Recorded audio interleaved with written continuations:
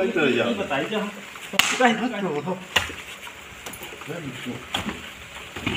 जब कुछ नहीं बोल कुछ नहीं बोल रहा। है जब कुछ बोलता नहीं लागे ना, अब बताइए।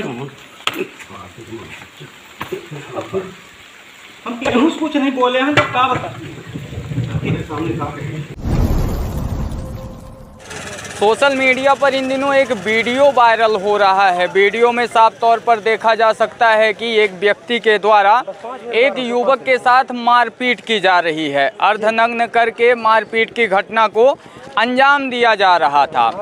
वीडियो दो साल पुराना बताया जा रहा है। वीडियो जब से सोशल मीडिया पर पड़ा है, तब से सोशल मीडिया की सुर्खियाँ बन गया है।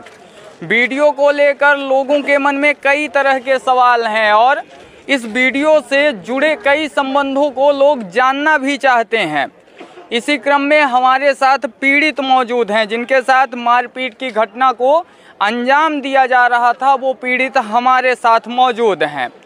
पहले तो आपको वीडियो के संबंध में बता दें, वीडियो मध्य प्रदेश के रीवा ज़िले का है। रीवा ज़िले के हनुमना तहसील अंतर्गत पिपराही ग्राम पंचायत आता है। पिपराही ग्राम पंचायत में महिला सरपंच हैं और महिला सरपंच के पति के द्वारा मारपीट की घटना को अंजाम दिया गया था। दो साल पुराना वीडियो है। वीडियो अभी हाल ही में वायरल हुआ है। अब सोशल मीडिया की सुर्खियाँ बन चुका है। पहले तो हम पीड़ित से बात करेंगे और जानेंगे कि आखिरकार वीडियो की सत्यता क्या है, क्योंकि वीडियो को लेकर तरह तरह से लोगों की प्रतिक्रियाएँ आ रही हैं। पहले मैं आपका नाम जानना चाहूँगा। मेरा नाम जयप्रकाश गुप्ता है। कहाँ के हैं? अपना पूरा एड्रेस दीजिए। ग्राम पोस्ट पिपराही जिला रीवा मध्य प्रदेश के निवासी अच्छा। ये आपके साथ मारपीट की घटना को अंजाम कौन दे रहा है? ये सरपंच का पति है जवाहर सिंह जो कि प्रतापगंज हायर सेकेंडरी में शिक्षा विभाग में बाबू के पद पर पदस्थ है। अच्छा प्रतापगंज हायर सेकेंडरी स्कूल में शिक्षा विभाग में बाबू के पद पे हैं है ना? जी। ये आपके साथ मारपीट की घटना को अंजाम क्यों दिए? ये हमारा गाड़ी का भाड़ा लग रहे थे। हाँ। तो फिर उसी के उसमें हमें बुलवाए अपने घर। अपने आदमियों से बुलवाए अपने घर। और फिर बोले कि पैसा आओगे ले जाओ। हाँ तो उनके घर में चला गया सल्ट चड्डा में। हम्म, तो फिर सर मुझे अंदर बाँध अं- अंदर कर लिए। हम्म, और बोले कि तुम किसी से कुछ कह रहे थे? हम बोले भैया हम किसी से कुछ नहीं बोले हैं। हम्म, हाँ तो फिर हो गया हमारा हाथ बांधे। दो आदमी वहाँ और मौजूद थे रामजस और राजकुमार। तीनों लोग मिलकर हाथ बांधे हैं। और फिर मुझे घसीट घसीट के मारे हैं पैर में मारे हैं मुँह में जूता घुसेड़ दिए थे। जी। और फिर अपने आदमियों को बोला कि इसका वीडियो बनाओ। तो वीडियो बनाने लगे इसलिए अच्छा वहाँ पे जब आपके साथ मारपीट की घटना को अंजाम दे रहे थे तब कितने लोग मौजूद थे? तीन लोग थे वहाँ। तीन लोग। तीनों का नाम आपको पता है? जी उनका सब तीनों का नाम पता है। हमारे? हमारे गाँव के आदमी क्या नाम एक का नाम जवाहर सिंह है और एक का नाम राम जैसा है और एक का नाम राजकुमार है। अच्छा ये दो साल पहले की बात बताई जा रही है। कब की है? पूरी बात आपको याद है? दस तारीख पचवा महीना 2021 की बात है। दस तारीख दो हज़ार इक्कीस की। ये बताइए जब 2021 में आपके साथ मारपीट किए तब आपको शिकायत करना चाहिए शिकायत करने के लिए जा रहे थे तो बोला कि अगर शिकायत करेगा तो काट के डाल देंगे मुहैया के जंगल में। क्यों? आ, आप लोग- घर वालों को प्रताड़ित कर रहा था तो इसके डर के मारे हम शिकायत करने गए थे पर वहाँ वहाँ जैसे शिकायत करने जाए वहाँ से सूचना उसको पहले मिल जाती थी हाँ कि शिकायत करने गया है तो फिर हमारे घर फिर चला जाता था गाली गलौज कर रहा करने। तो वहाँ पे आप लोग कमज़ोर हैं और वो हावी है आप लोगों पर? जी। ये कहा जा। सकता जी बिल्कुल बिल्कुल बिल्कुल। आप गाड़ी चलाने का काम करते जी हैं? जी जी गाड़ी चलाना आप खुद की गाड़ी रखे हैं जी हाँ? गाड़ी हमारे हमारे पास।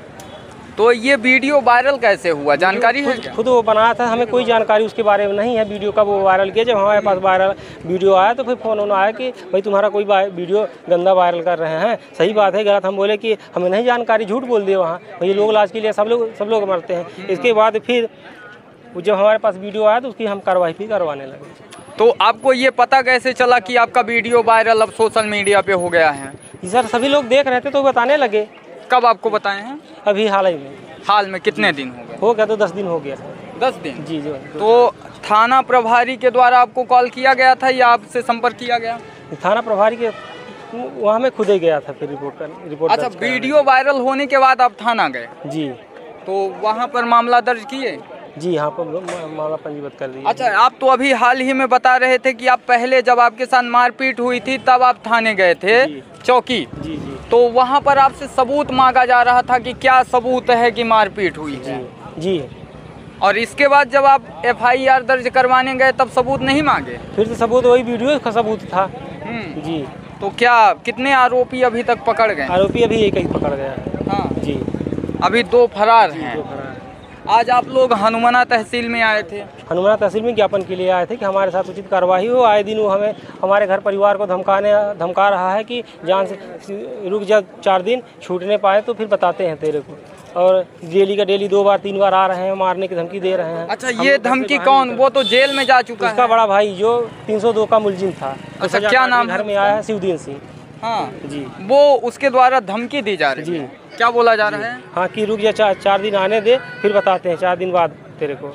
हाँ। जी मम्मी लोग बताने का मतलब क्या है? अभी मतलब भी ये है कि छूट के आएगा तो साले तेरी तेरे को ज़िंदा नहीं छोड़ेंगे। अच्छा इसके बाद जब से आपका वीडियो वायरल हुआ है तब से आप से कौन कौन अभी तक संपर्क कर चुके हैं? यहाँ के स्थानीय विधायक या फिर प्रशासनिक अधिकारियों में? अभी तक कोई संपर्क नहीं किया है। अभी तक कोई नहीं? जी। तो यहाँ से आपको क्या लगता है मदद तो आपकी हो पाएगी पूरी या फिर अभी भी अधूरा है? अभी तो कोई कोई मदद हुई नहीं है अभी तक। हम्म। अब जो मदद करेगी शासन प्रशासन करेगी। तो क्या लगता है आपको मदद होगी आपकी? क्योंकि पूर्व में आपने हनुमाना थाना अंतर्गत कैलाशपुर में सुकवरिया कांड देखा है। जी जी जी कोई मदद नहीं हुई उसमें। आरोपी सभी फरार हैं घूम रहे हैं खुलेआम। कोई मतलब मदद मदद नहीं हो रहा है। तो अभी आप लोग वहाँ पे आपके परिवार में कितने सदस्य हैं? हम लोग हम लोग हैं छः भाई पर सभी लोग बाहर रहते हैं पिपराही में हम लोग चार लोग रहते हैं। तो कहीं ना कहीं प्रशासन को इस पर ध्यान देना चाहिए क्योंकि आप अकेले वहाँ पे रहते हैं। पिपराही आउटसाइड है कुछ जंगल टाइप का वहाँ पे पूरा रहता है। आए दिन कोई बड़ी घटना को अंजाम दे दिए तो? अब क्या करेंगे हम लोग अब क्या कर सकते हैं? उसमें शासन प्रशासन से यही मांग कर रहे हैं कि भाई हमारी जान की सुरक्षा किया जाए। आज ज्ञापन में क्या दिए हैं? ज्ञापन में यही ज्ञापन ज्ञापन दिए हैं। हाँ कि मुलजिम का जो धारा लगाए हैं इतने हल्के हल्के धारा लगाए हैं सभी जमानती धारा लगाए हैं वो वकीलों के बताने के मुताबिक हाँ तो इनकी धारा बढ़ाया जाए इनको जमानत न मिले किसी भी प्रकार से। अगर जमानत मिलती है तो मुझे कन्फर्म है कि मार ही देगा। जमानत मिलने पे आपके साथ आगे भी मारपीट होगी। मा, मारपीट नहीं आत्मघाती हमला करेगा वो मार ही देगा। उसके परिवार वाले सभी यही धमकी दे रहे हैं कि रुक जा चार बस तेरे को आने भर के आने बस की देर है। खुले आम धमकी। खुले आम धमकी। और मेरे ज़मीन में जबरन कब्जा भी कर लिया है। अच्छा ज़मीन में ये कब कब्जा किए हैं? ज़मीन में कब्जा किए हैं अभी एक एक आध महीने हो गया है। ज़बरदस्ती ताला तोड़ के जी ताला तोड़ के वहाँ रह भी रहा है सामान अपना रखा है। अभी अभी भी मन में डर बना हुआ है। बिल्कुल सर वहाँ दिन भर वो दस दस बीस लोग दिन भर बने रह बने रहते हैं वहाँ। अब क्या मांग है आपकी? मांग यही शासन से मांग है कि हमारे जान की रक्षा की जाए प्रथम काम सबसे इसके बाद मुलजिम की जो मुलजिम है उसको उसको कड़ी से कड़ी सजा दिया जाए उसका जमानत बिल्कुल ना हो। चलिए बहुत बहुत धन्यवाद। शासन प्रशासन से मैं भी गुजारिश करूँगा कि पीड़ित व्यक्ति को सुरक्षा देने का कार्य किया जाए। मध्य प्रदेश में जिस तरह से आए दिन वीडियो वायरल हो रहे हैं, कहीं ना कहीं वो चिंताजनक हैं।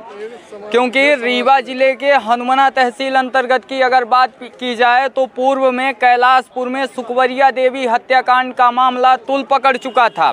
लेकिन उस पर भी अभी स्थानीय लोगों का जो कहना है तो यही कहना है कि कोई कार्यवाही नहीं हुई। इसके बाद अगर मध्य प्रदेश के सीधी ज़िले की बात की जाए तो वहाँ से भी एक वीडियो वायरल हुआ। उस पर भी मध्य प्रदेश सरकार के द्वारा कार्यवाही की गई, लेकिन वो अभी मामला शांत नहीं हुआ था कि रीवा ज़िले के पिपराही से एक और वीडियो वायरल हो गया। सभी की नज़रें टिकी हुई हैं कि अब मध्य प्रदेश सरकार के द्वारा क्या कार्यवाही की जाती है।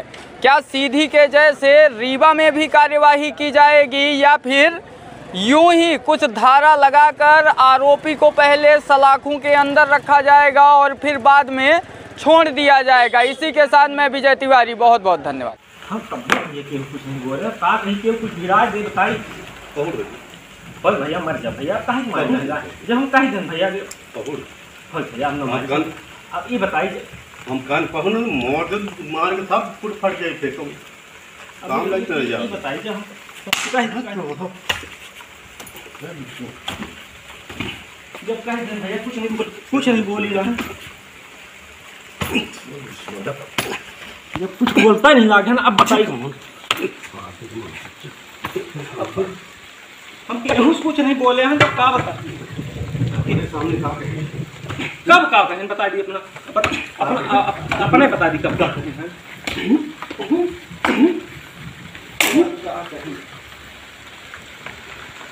चाहिए का कहे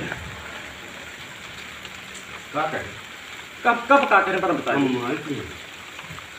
कब का करें रात बनी पहुँचा नहीं कब का कहें बता दिए अपना और पहले तो बताइए। भैया मर जा अब मरे के काम आए हैं खुदा विकलांग आदमी हैं बताइए अपना कितना ताकत तो पकड़ के ना? हाँ उधर ही आने हैं। हाँ